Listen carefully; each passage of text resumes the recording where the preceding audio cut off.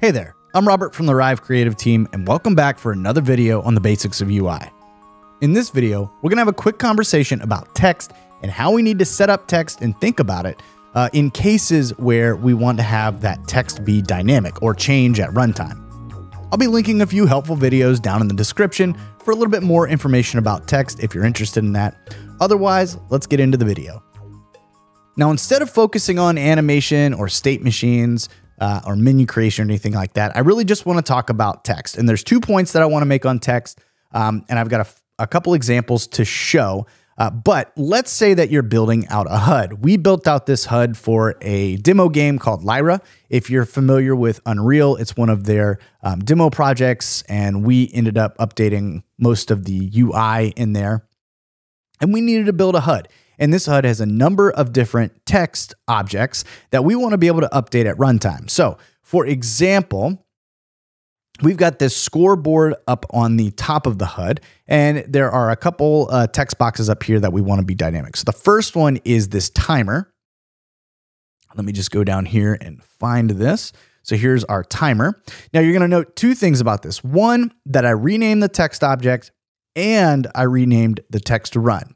Now, if you want to have a text box that is um, findable at runtime, or they can, the engineers can find it in uh, the file and actually tie this to some kind of information like a timing system, um, what you're going to want to do is rename that. So in this case, I've renamed this timer so that they can uh, find this text box or the text object and actually tie it to code and create, you know, maybe a 15 minute timer or a 10 minute timer or whatever it is that they want to put in there.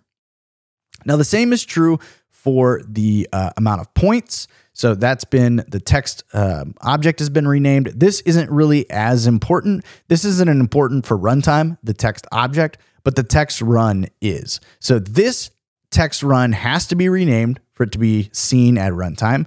But the uh, text object, you don't have to rename it, but this is more of just an organizational thing. Now, that's the first point that I want to make is that if you want to update the text at runtime, you have to rename the text run. The other thing that you need to know about text that you want to be dynamic is that it can't be included with a nested artboard. So in this case, I have a weapon component that I created so that I could build out a weapon select system. And normally what I would do is build out the whole component um, or build out one piece of the component and then build a more complex component uh, where I nest three of these and create some animations. But because I wanted to include text that is updatable, uh, which we're going to tie to ammo. What I did was I took this component, I put it on my HUD artboard because this is the artboard that's going to get exported. And then uh, built the component here in the state machine. So now we've got a weapon select system that you can have one of three active slots, and each one of those slots can be one of three different weapons. And then I included the text object here on the top level and then just incorporated the different animations that I needed. So the different colors for the text and things like that here on the main artboard level. And once again, you'll note that each one of these different um, weapon uh, text objects has been renamed as well as their text run. Because remember, it's the text run that is going to be queried for at runtime and not the text object itself. Um, so this is for organization and this is to expose it at runtime. Now, the previous two things were really the main points that I wanted to get across. I just want to show you one more example of how to set something up uh, for runtime. So, in this case, we wanted to create a scoreboard for both um, that shows both the red and blue team score. And this right here is just a demo of it, um, of you know how it should actually look at runtime. And this was sent over to the devs so that they could see how all this uh, should look. Um, but really, how we had to deliver this is in two separate artboards. So on the first artboard uh, is your scoreboard.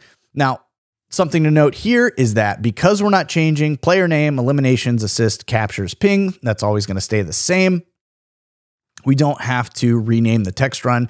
Now, if you wanted to uh, localize this um, this uh, scoreboard, then again, you'd go in here and you'd rename this player, uh, player name. So now the player name could be seen at runtime, eliminations, and so on and so forth, all the way through to the end. Same thing with team. Um, the thing that is dynamic in here is this uh, score right here. So you can see that this red team score is renamed. Um, so this text box can be updated at runtime. Now, the player card itself, you'll see that once again, everything in here, um, the things that we're going to be changing have been renamed. So player name's been renamed, kills has been renamed, assists has been renamed, captures has been renamed, and so is ping. And then we can take both of these artboards and send it over with this reference and just say, hey, you know, this is going to be the background. And then these red cards are going to sit in there. And, um, you know, we just want them to sort themselves in ascending order. So this was another example of a use case where um, we're going to want to update those uh, text blocks at runtime. So um, the things that we want to update, make sure that they're on a top level artboard like this. Um, and they also are, um, those text runs are renamed. I know this was a short video. I hope you got something out of it. If you liked it, leave us a thumbs up. If you have any questions, leave us a comment, and we'll see you in the next one.